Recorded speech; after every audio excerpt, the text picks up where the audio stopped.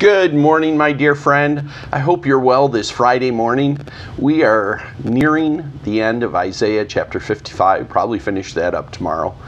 But in verse 12, it said, and we read this yesterday For you shall go out with joy and be led forth in peace. The mountains and the hills before you shall break forth into singing, and the trees of the field shall clap their hands. And we know the Lord wants us to be full of His joy and be led by His peace and that the hills uh, and shall break forth into singing. The trees of the field shall clap their hands. All creation rejoices before the Lord. Goes on in verse 13 to say, Instead of the thorn shall come up the cypress instead of the briar shall come up the myrtle. And the Lord is making a promise here, saying that if these things are working in our lives, if we have His joy, if we're being led by His peace, if we're pursuing Him with all of our heart, then He'll allow good fruit to grow out of our lives.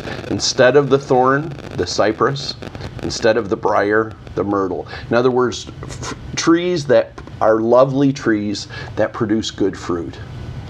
We want to be those who carry the joy of the Lord, who are directed by His peace, so that we can be trees of righteousness in His garden. Let's go to Him in prayer today. Just say, Lord, we want to be planted near you to be blessed by you. Let's pray. Heavenly Father, we come to you today thankful for your faithfulness. And Lord, we do ask for your blessing in our life. We want to pursue you. Give us grace to do that today, we pray in Jesus' name. Amen.